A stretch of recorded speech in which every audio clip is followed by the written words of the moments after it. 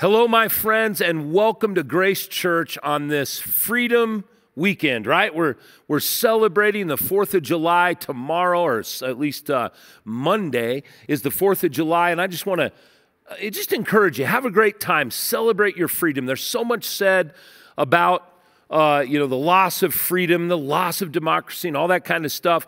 Man, put that out of your mind. We live in the greatest country on earth. We are free. And uh, as Christians, we are free indeed. We've been set free through Jesus Christ. For all of you watching online, we love you. And wherever you're at in the world, this is our Independence Weekend, but we celebrate the freedom we have in Christ. And in that way, we are all the same. And if you don't know Jesus as your Savior, I hope and pray that by the end of this service, you will. But know this you are always welcome at Grace. Now, you've noticed that I'm preaching uh, on screen. And uh, the reason is that I'm gone, I'm traveling, uh, and our other preaching pastors are unable. So this is a privilege to be able to do this. But you know what? So many of you just watch the screens anyway, so it's going to be pretty normal. We are in a series that I've entitled Legends of the Call. And that these are people that were legendary by their faith, but they were just ordinary by their humanity. They were just like you and me. And as we look at this amazing person that we're going to look at today, I want you to be thinking about that title. Eh, maybe take out your, your message notes. Even if you don't take notes, I'd encourage you to, because I'm going to give you some information maybe you didn't know, maybe you weren't familiar with. But we're going to talk about cultivating an authentic, loyal love. Think about those words authenticity. That means it's real, it's not phony, it's not fabricated. Loyal, it means that it's undying. Nothing can take that love away, nothing can change it. And of course, love is that unconditional love. Now, before I give you the background of Ruth, I want to explain the need for these life changing chapters in our lives today. You know, a lot of times the Bible uh, especially in the area of the Old Testament, gets a, a bad rap. You know, we, we kind of think of these people like, well, they were the cavemen, right? Like Neanderthals. Uh, me make fire, me make fire. No, that's not how it was. These were real people, just like you and I, with the same challenges in life, just in a different generation. And in this story, the story of Ruth, we see some examples of authentic, loyal love from more than just Ruth, although she's the primary person in this story. And believe me, God cares about women. God has always had women at the forefront of his mind, just as he has the men he's created. And women played a pivotal, I would argue, the most pivotal role in the history of the church because without them, none of us would exist. You know, again, people say things about the Old Testament that, oh, it's, you know, it's sexist, it's chauvinist. No, where you see that, it's sinful. That's sinful man. Remember, it's descriptive, not prescriptive. We've talked about this, this in this Old Testament series. But God really had every intention of using this amazing person, Ruth, to preserve the lineage of Jesus Christ. And she wasn't even a Jew. You know, for you who may not know, God chose the Jewish nation in order to bring the Messiah into the world, in order to deliver his grace to others. And this woman was a Moabite. She wasn't even a Jew. But I'll get into that in just a moment. This book is often considered by secular scholars as much as Christian scholars as one of the greatest literary compositions in history that we have preserved for today from ancient history. That's four chapters that tells an amazing story of love. And what's incredible about this story is that there are a lot of little pieces that fit together. And God uses those pieces to really bring together an amazing story. And as we look at the bigger plan in the book of Ruth, you can see how what was happening at this time was imperative to transform the culture. Now, I'll get to that in a moment. When I think about cultivating authentic love, I got to mention a person that has poured in 22 years of her life into this ministry. Karen Kramer has been uh, our financial uh, lady for 22 years, and her and Mike Kramer have been faithful to this ministry. I'm going to tell you, there are not many churches that can celebrate a person in the role that Karen has been in for 22 years. We've been blessed with her. She's overseen our trustees. She has had all of those jobs that nobody necessarily loves, like paying the bills and watching a budget and, you know, trusting God to bring the finances. Guys, I don't know if you know this about church, but we're not a business. So we're not selling product. Uh, we don't have a certain line of, of income that we depend on. All of our income comes from the faithfulness of God's people, both watching us and here to give faithfully. And so when she sees us make decisions as pastors and elders, she has to trust that we have bathed it in prayer, and she did. And we are so grateful to Karen. Her and Mike are retiring. Uh, Mike has just retired from his company after 25 plus years, and she's now retiring from here after 22 years. She'll remain on as an advisor, but they're moving to Missouri. Going to be with their uh, daughter and grandsons, and it's just an awesome opportunity. So, will you let them know that you know they've had they've gone already? We had a celebration as a staff uh, this past Tuesday, but uh, it was a quick move. It came quickly, but we were just sharing how blessed we are to have Karen and have had her here. Thankful for Lisa Ann Till stepping in to take over this role. Thankful that Karen will be an advisor uh, from Missouri. But if you get a chance, send her an email, send her a text, let her know how much you appreciate her. We couldn't be where we were today without her. Now, getting back to this story, that's authentic love. That's authentic, loyal love. And all of this story is enveloped in that kind of love. It's God's love for his fallen creation because we're all sinful. And it's Ruth's love for her mother in law. And it's, it's, it's a man named Boaz's love for his family and for Ruth. And we'll jump into all of this. But if you think about it, relationships today are very similar to the way they were 2,500 years ago. Whether you go through a breakup or a divorce, there's always a reason in your life that you will suffer some pain. This is a broken planet. You cannot get through this life unscathed. And even though it may make sense while you're going through it, uh, or may not make sense while you're going through it, God oftentimes lets us see why He allowed things to happen. Now, in this book, we're going to really get to some of the details in a moment, but there's two types of love in this world. There really is. I, I know there's, you know, the, the biblical definitions of phileo love, brotherly love, and eros love, uh, romantic love, and agape love, unconditional. But I want to show you how I really break this down. There's two types of love that we often have, uh, and we have to challenge ourselves to grow through these types of love. The first is a lesser love of convenience. And that's loving only when it's convenient and benefits me. Now, don't look at this and go, wow, I can't believe people have a lesser kind of. We all start out here. We love because there's something we're getting in return. I love you because you tell me I'm great.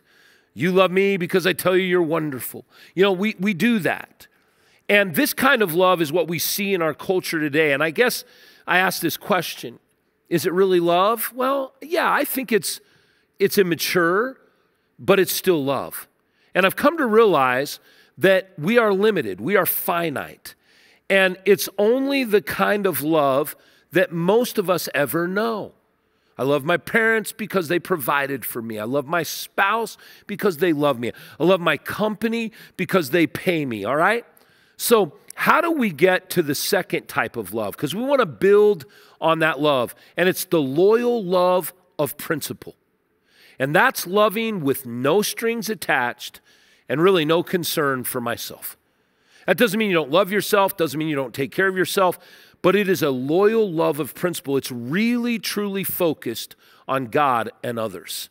And the goal today is to get there. And listen, I know that all of us start out with the lesser kind of love as we're growing in life. You know, for instance, I was talking to Pastor Jason, and, you know, he has relationships in his life that are relationships of convenience. His, his children are playing sports, his son Jake's involved in baseball. I remember those days when all four of my kids were playing sports.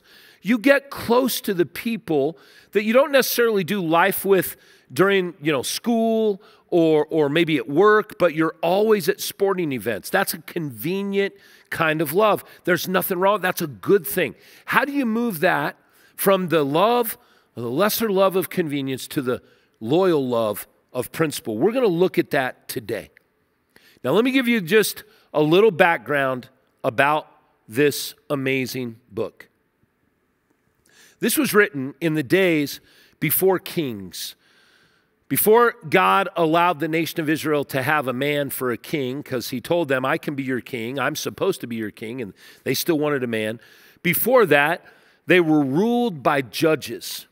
And there was uh, a man who, under the rule of the judges, named Elimelech, took his wife, Naomi, and their two sons, and they moved from Bethlehem in Judea to the country of Moab.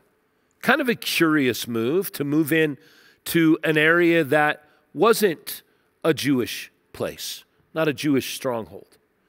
And it wasn't the Moab I like to go to in Utah, okay? But there were some similarities. It's a very hot place, very kind of desolate place. And uh, it was a place that was ruled, if you will, governed by more of a pagan approach to life. And so he moves his family, he moves Naomi.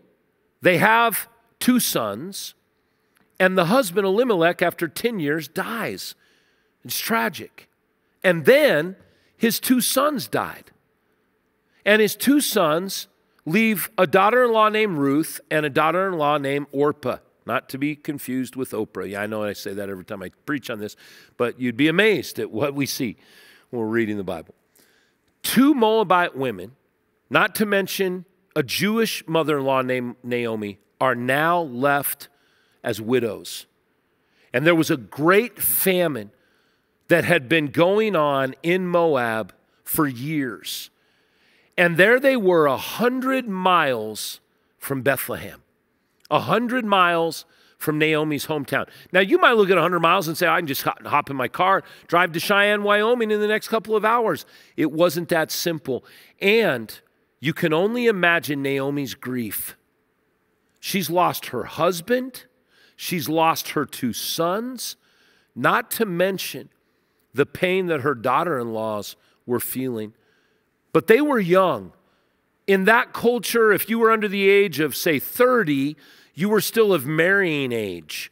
There was still an opportunity for you. There's a possibility that you would still be able to give a husband children, and that's what mattered the most. Naomi was beyond that. And so they have suffered great grief. Now, you may say, uh, today, if a woman is a widow, uh, there's people that care, and there's churches like ours that care, and there's, there's organizations that help. It's true, but it's still hard on a widow. It can be hard on a widower. But in those days, if you were a woman who had been widowed, you were as good as gone.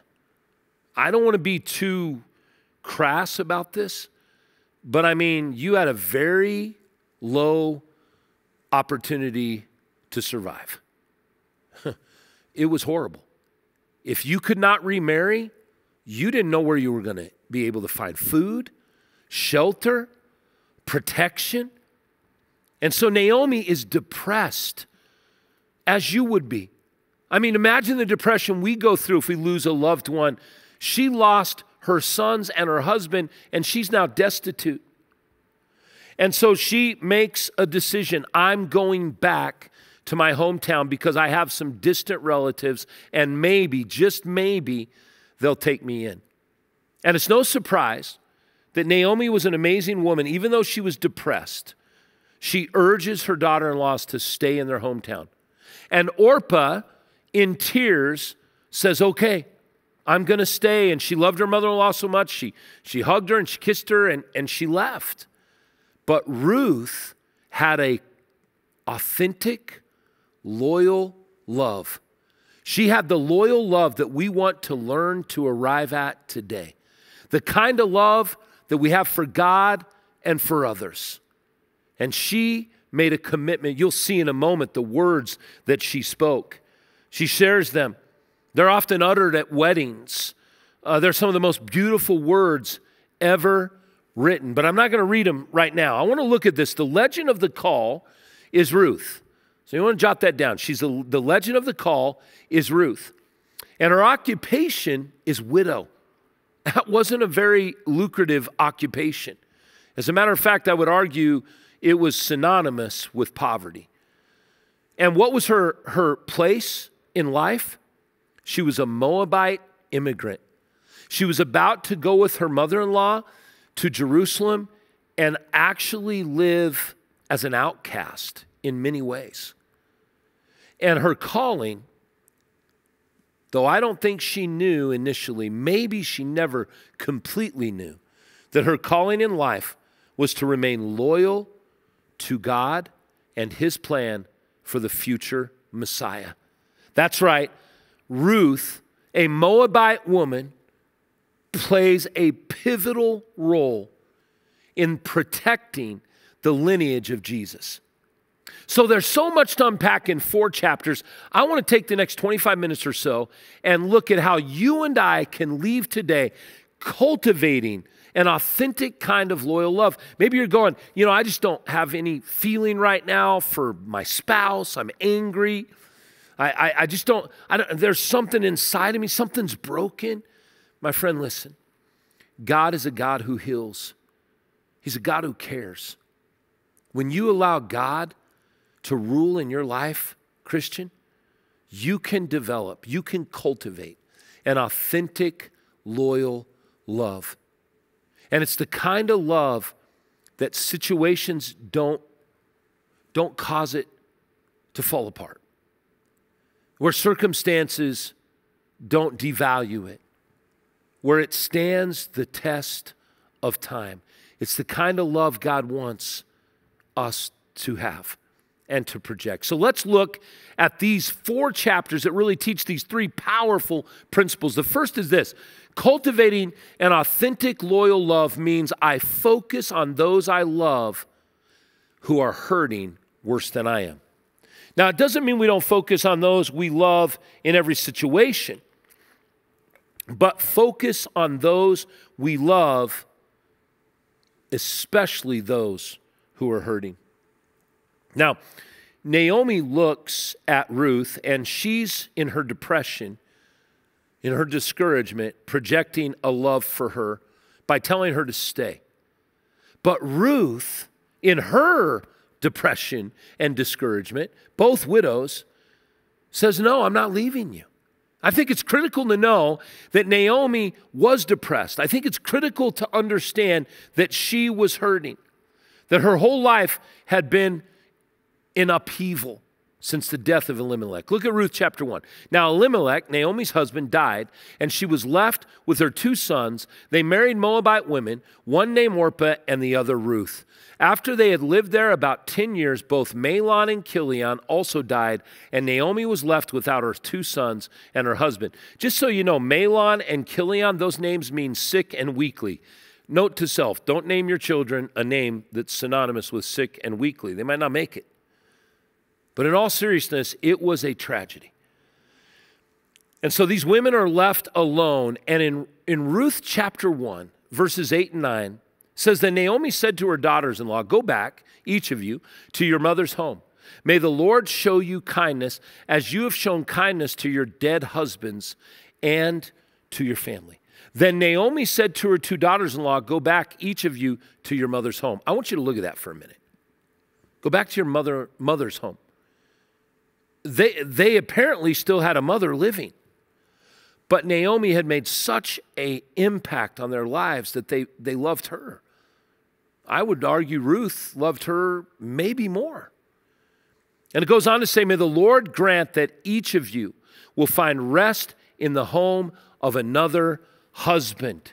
That was the potential.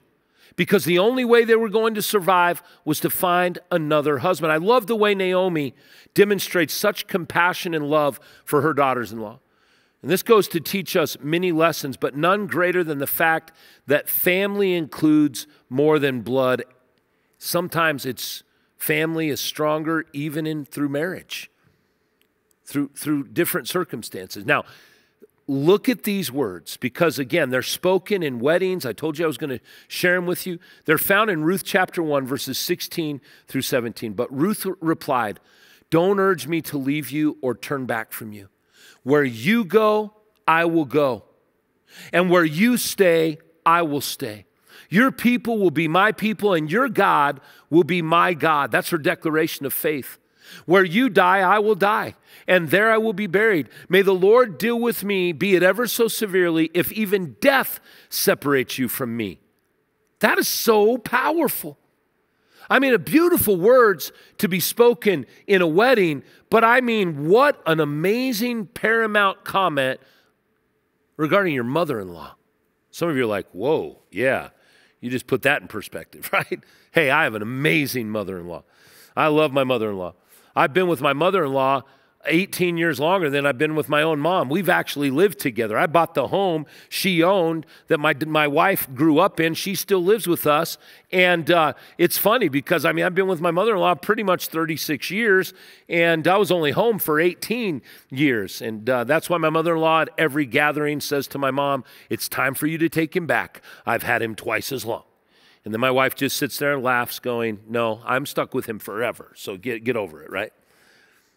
You know, when, when we focus our attention on the needs of others, like Ruth did for Naomi, Ruth could have said, Poor me. I'm a widow. I have nothing. I'm younger. I'm a Moabite. There's no chance for me. I'm living in a desolate land and started feeling sorry for herself. But she did not do that. What a remarkable woman. This is the story of remarkable women. And when I focus on the needs of the hurting, there's really three powerful realities that take place. Jot these down. The first is I gain perspective, which leads to deep gratitude. I can tell you personally, there is something that is a byproduct of being a pastor that I never thought about when I was young and got into ministry in 1985. And it's this when you are walking people through the worst periods of time in their lives, when they are losing a loved one, the very first memorial I ever did was for a young man in my youth group, literally two years younger than me, that was accidentally shot to death. When you are carrying people through the worst times in life, do you know what happens when you go home that night? You thank God for your, your spouse and your family. You thank God for your health when you're dealing with every kind of disease, terminal, even not terminal, but painful. Guys, when you are sharing life together, let me tell you, you gain perspective and it leads to gratitude. Otherwise, it'll lead to fear and anxiety. You'll lay in bed at night, and I'm, I'm going to admit this. There have been times in my life where I've had anxiety, even depression, because I was dealing with so much suffering, so much pain, that I would lay my head on my pillow and literally go, okay, God, when's it my time to have cancer? When's it my time to suffer this or that? And I had to allow God to redirect me, to go back to caring for people. You know what else? It gives genuine compassion and empathy to you. When I focus on the needs of others, I give genuine compassion and empathy. What is compassion? Compassion is looking at someone in need and providing for their needs. I pulled up to a stoplight on 120th and Sheridan, and it's one of those long stoplights if you've ever been there. And it had just turned red, and there was a young man, maybe 22 years old at, at the oldest, clean cut, you know, long hair, clean. Uh, he had a sign that said, I'm not looking for a handout. I need a job. I lost everything. Man, he really got to me. And, and you know, some may say, oh, he really worked you, Pastor. I, I ended up talking to this kid for about five minutes. I shared the gospel with him. I gave him some money. He's like, bless you, Pastor. I'm going to come by your church. I, I wouldn't doubt if he comes. But here's what matters the most it truly, when you follow God, and you focus on the needs of hurting people and you allow your heart to be sympathetic. You don't sit there going, he's a fraud, he's a fraud. He could have been all those things, but it doesn't matter. It gives you genuine compassion and you want to help people. Look at the story of the great the good Samaritan. He didn't just have pity on the man that was robbed and beaten. He put him on his donkey, dressed his wounds. He took him to a hotel. He offered to pay for the hotel, which he did. He did more. Empathy is feeling someone's pain, sympathy is feeling sorry for them. And then finally, when I focus on the needs of the hurting, I get the urge to actually help in a tangible way. You move from pity to compassion.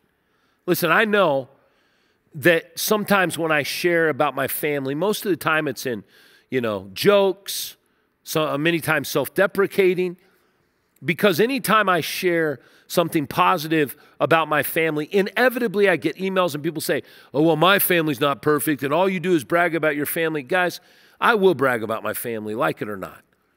I am blessed with my wife, my four children, my three bonus children, my six amazing grandchildren, but it's not because we did everything right. It's not because we're perfect, because none of us are. It's not because six of us are pastors or in charge of nonprofits or because everybody in the family literally loves Jesus and serves, whether they're a pastor or not. It's because of this.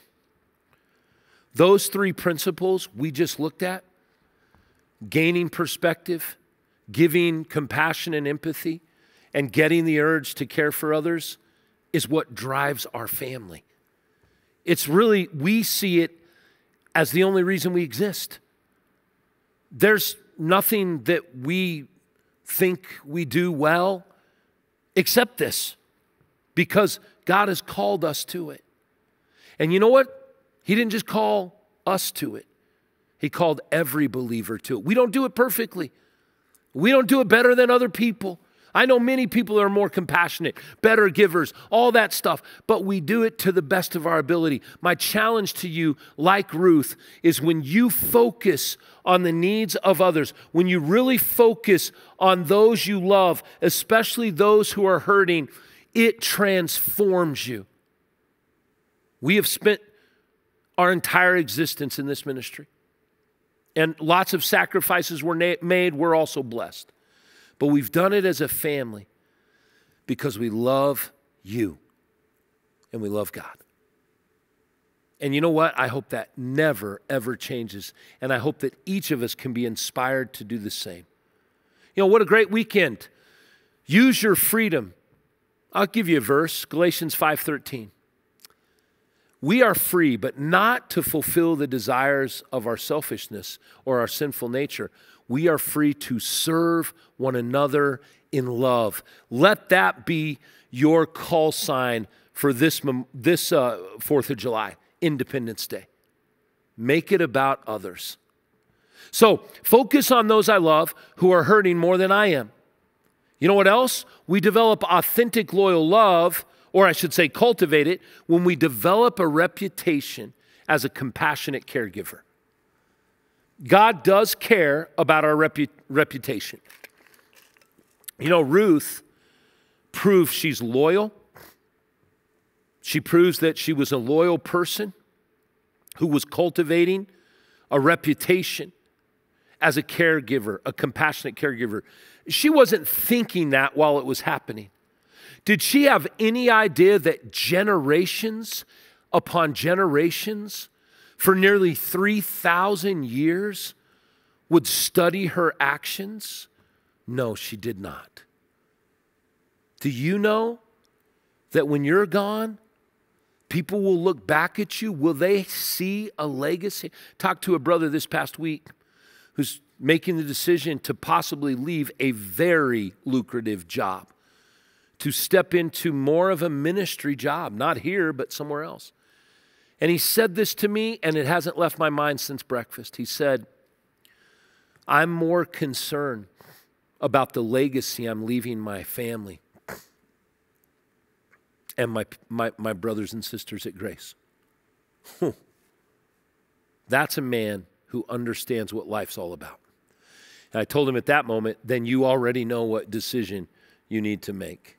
You know, Ruth developed that reputation as a compassionate caregiver, but there's also another person in this story, other than just Naomi, who did the same, who has the absolute same reputation.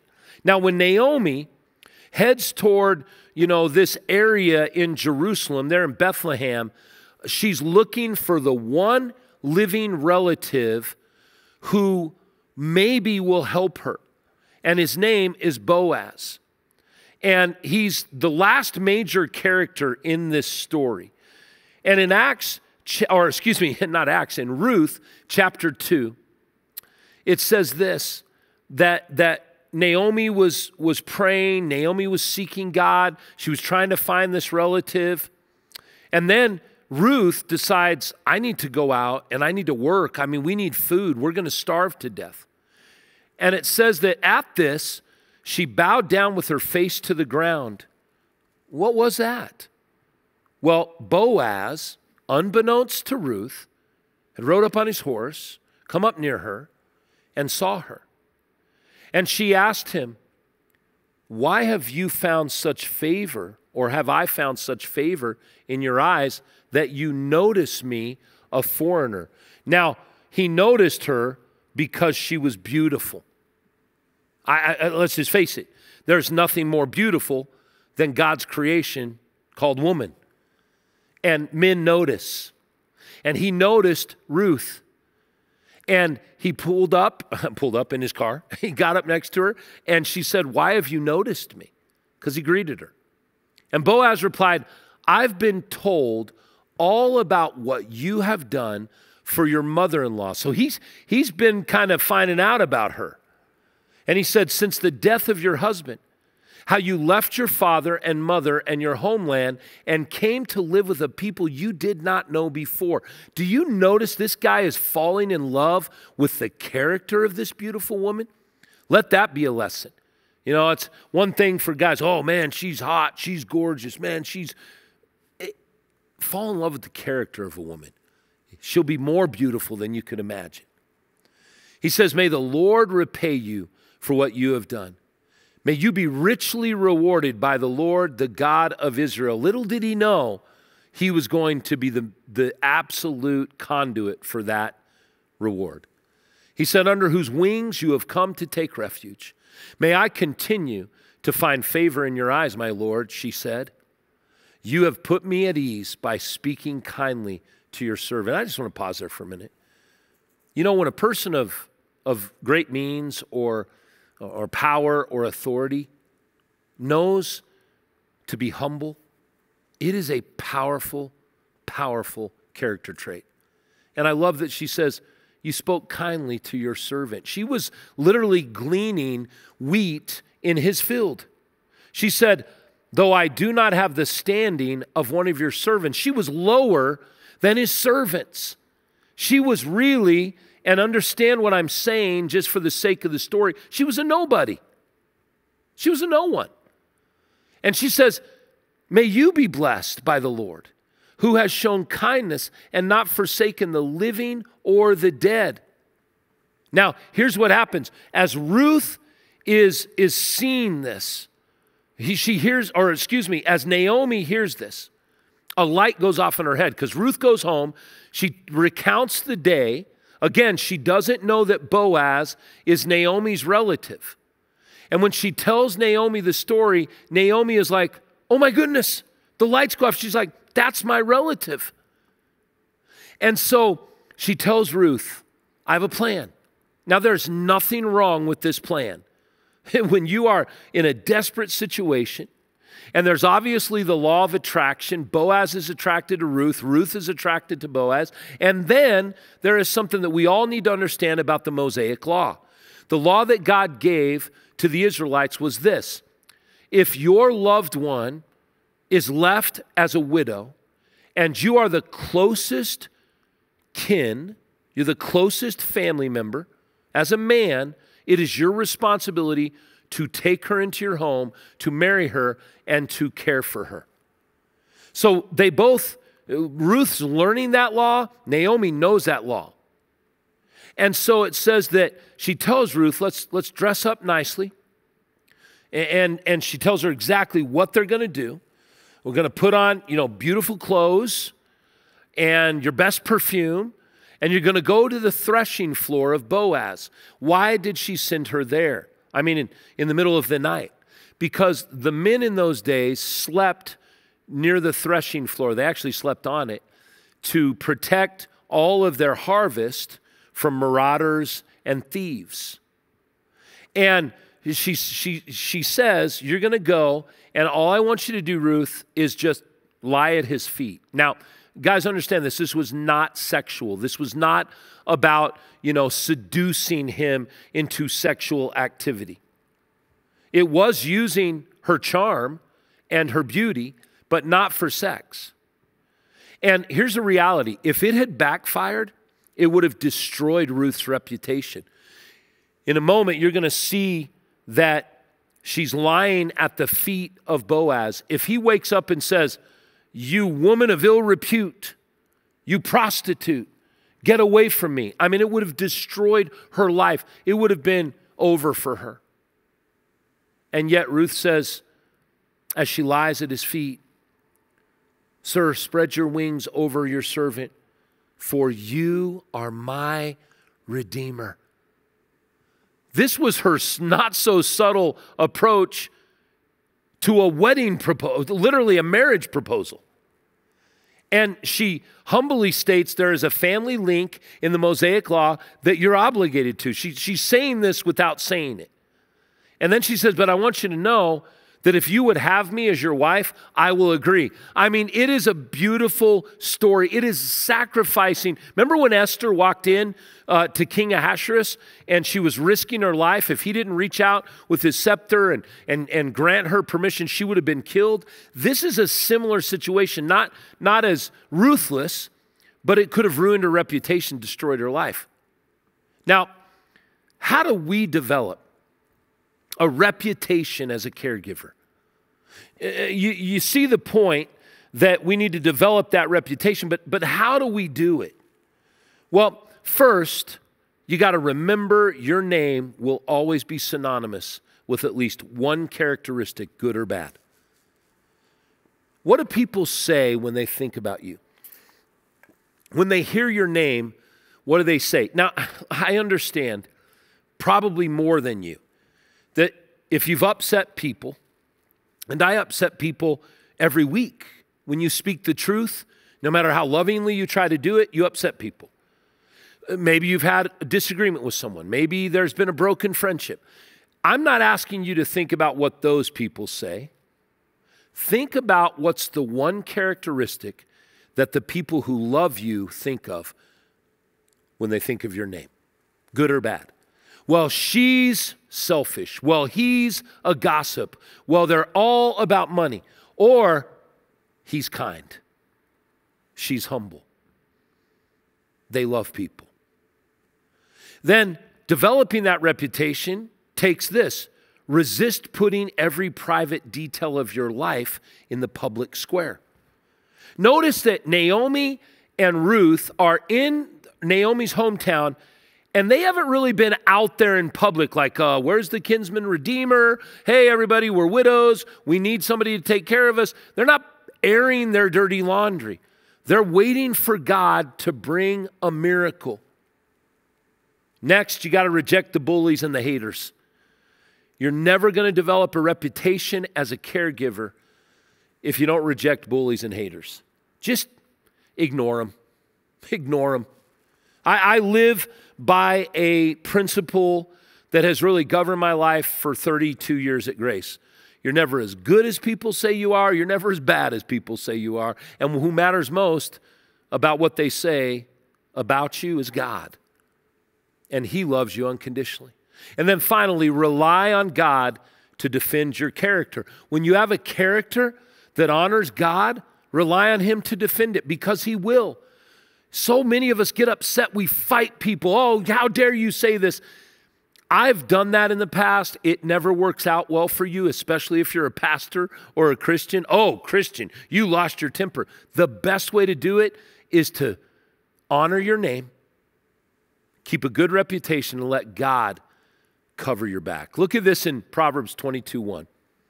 A beautiful reputation, circle those two words, is more to be desired than great riches, and to be esteemed by others is more honorable than to own immense investments. Your great reputation, your beautiful reputation, far more important than wealth. And when people come at you and they attack you, uh, Proverbs also gives you a plan, gives me a plan. Proverbs 15:1. Respond gently when you are confronted, and you'll diffuse the rage of another. Speak si- softly and let God take care of the situation. I have to be honest. I had watched this pastor uh, on social media during COVID. He had preached a couple messages. I thought, that's pretty good. I'd never heard of him before. Not going to name him. And I was like, that's pretty good. Oh, that's pretty clear gospel. And then a few weeks ago, a video came out and he was railing on people and he was calling he goes if you're a democrat you're a demon. You need to get out of my church. You're not going to heaven. I'm like what in the world? How could a pastor ever speak those words about somebody's political affiliation? It was horrifying. I just thought well scratch him off. There's a long list of guys i don't listen to anymore. You know that is no way to build a reputation by being known for what you're against so we're not going to do that. We want to be known as a ministry for that motto love no matter what. We're a home for anyone, we're hope for anyone and a home for anyone, or everyone and a home for anyone. I messed up our, our mission statement pretty bad there. But it's, it's love no matter what that drives us. So, cultivate authentic love by developing a reputation as a compassionate caregiver. And then finally, in this story, to, to, to really cultivate authentic love, you give your all to those you love and those you're called to love no matter the cost. Now, now before you look at that and, and really, you know, think it's lofty, let me show you how this is demonstrated in this story. It's an amazing reality that we learn not only from Ruth and Naomi, but from Boaz. See, they tell him he's their kinsman redeemer. But Boaz does some research and finds out there's one other kin who is actually closer to them, who is the kinsman redeemer. And that's sad for him because he loves Ruth. He's, he's just uh, taken, smitten by her. But look at this in Ruth 3. Although it is true that I am a guardian redeemer of our family, there is another who is more closely related than I. Stay here for the night, and in the morning, if he wants to do his duty as your guardian redeemer, good. Let him redeem you. But if he is not willing, as surely as the Lord lives, I will do it. Lie here until morning. So he doesn't cast her out, he doesn't mock her. He just says, We're going to honor the law because he honored God. And he said, if, if this man will take you, and good for him. I'm sure it wasn't what Boaz wanted, but he wanted to do the right thing. So he goes to this other kinsman. He tells him the situation, but then he's wise. He says, Oh, and by the way, you have to take on all of her, uh, uh, you know, debts and poverty and her estate, which, you know, each of them had little plots and whatnot. And he says, You have to take on all of that, and it could jeopardize your estate. And the guy at first is like, well, yeah, I'll, I'll bring her into my family. I'll, I'll marry her. And then when he hears that, he says, uh, no, you go ahead and do it. And so Boaz returns to Ruth and tells her that he can marry her. And I love, love this beautiful story. In Ruth chapter 4, it says So when Boaz took Ruth as his wife, she became his wife. When he made love to her, the Lord enabled her to conceive, and she gave birth to a son. The women said to Naomi, Praise be to the Lord, who is this day, who has this day not left you without a guardian redeemer. May he become famous throughout Israel. He will renew your life and sustain you in your old age. For your daughter in law, who loves you and who is better to you than seven sons, has given him birth. Not only did God allow this widow grandmother to have a son in law, but he allowed her to be a grandma to a man named Obed, or a child, who would one day grow to be the grandfather of none other than King David.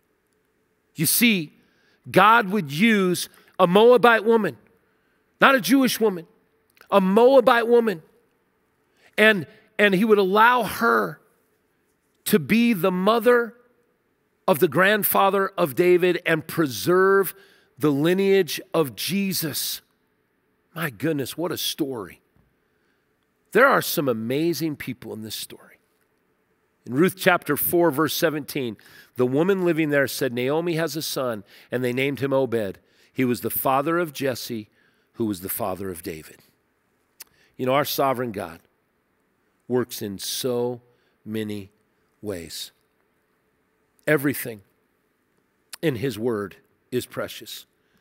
But the greatest lesson is that God works in every situation. His invisible hand steers us according to his purpose, whether we see it or not. I don't think Ruth ever fully comprehended until she got to heaven what God did through her. Guys, all the little decisions that you're making, they matter. They matter for your reputation, they matter for my reputation. Senator Dan Coats said this so appropriately. He said, The only preparation for that one profound decision which can change your life are those hundreds of self defining, seemingly insignificant decisions made in private. Habit is the daily battleground of character. Wow. What a quote. Man, I would hold that one very close. You know, I love how all of Scripture ties together perfectly. My, uh, my oldest daughter, Brittany, my youngest son, read Max Lucado's book. And in Max's book was a powerful quote. I want to read this quote to you as well.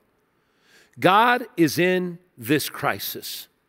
Keep calm and carry on. You cannot control the weather. You aren't in control of the economy. You can't undo the tsunami or unwreck the car, but you can map out a strategy. God, please give me an index card size plan, two or three steps I can take today. God gives hope because He gives us Himself. He wants us to know we are never alone. My friends, I just gave you an index card right there in those notes of how to approach life's challenges and develop an authentic, loyal love. How does this story end? Well, go to the very end of the book, the Bible. Look at Revelation 22 16. I, Jesus, have sent my angel to give you this testimony for the churches. I am the root and offspring of David and the bright and morning star. You could add there, I am the offspring of David's uh, grand, great grandmother, Ruth. In John 129, that, that Savior is mentioned this way by John the Baptist. The next day, John saw Jesus coming toward him and said, Look, the Lamb of God who takes away the sin of the world.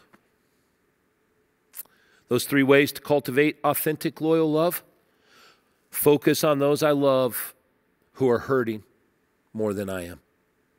Develop a reputation as a compassionate caregiver. And finally, give my all to those I love and those I'm called to love no matter the cost. That's what Jesus did. He is the Lamb of God who took away the sins of the world. See, my friends, you and I, we're sinful. You know, we talk about independence and freedom on the 4th of July, rightfully so, because though we have some uh, black marks, if you will, on our history, this is still the greatest country founded by men and women who loved God and loved freedom, but still imperfect. And the truth is, you can live in this free country and still be a slave. That's right, a slave to sin and death. When Jesus came into the world 2,000 years ago, he knew everything that would ever happen, everything that's happening today, and everything that did happen. And he said, This I have come that you may be free. That's right. So Jesus comes into the world, lives a perfect life, never sins. He was never bound by sin, tempted in every way, yet never sinned. And he willingly went to a cross 2,000 years ago. He died. He shed his blood because God's holiness demanded a perfect sacrifice, and only Jesus, God in the flesh, could pay it.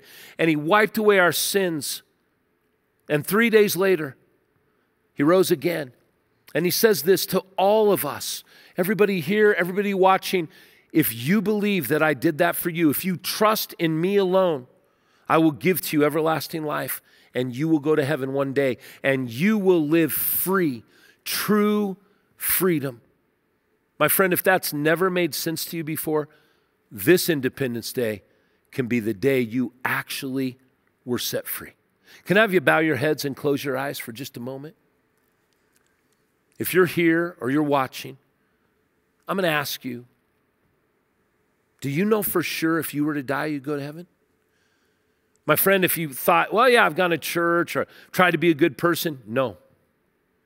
That can't save you. Maybe you're going, right now, it's the first time I've heard this. Then, right where you sit, just say these words in your mind God, I admit it, I'm a sinner. I've done things wrong. But today, I believe Jesus Christ died for me, and I trust in Him alone to save me. Thank you, God. Friend, welcome to the family of God. You have been set free. You are no longer in fear of death or hell. You have a purpose for living, and we would love to help you grow in that purpose. In just a moment, not right now, if you put your trust in Jesus, I'm going to have you slip up your hand and put it right back down. It's just a few greeters in the room. We just want to know that this made sense. So if you're saying today, I believe and I receive the free gift, would you just slip your hand up? I am believing in faith that you've put your trust in Christ. And you can text us the word believe to 720 895 9000. We'll get back to you this week. We have some gifts, a new Bible, my latest book, some, some tokens to the coffee shop, and lots of stuff. Or you can go by the, wel- the Welcome Center, the Connection Center in the foyer, and just say, I'd like a new believer's bag or a guest bag, and we'll give it to you. But welcome to the family of God. Father God, thank you for these you've set free. Thank you for the freedom we have in Jesus Christ. And it's the freedom to develop an authentic, loyal love for you and for others. We praise you. We worship you now in Jesus' name. Amen.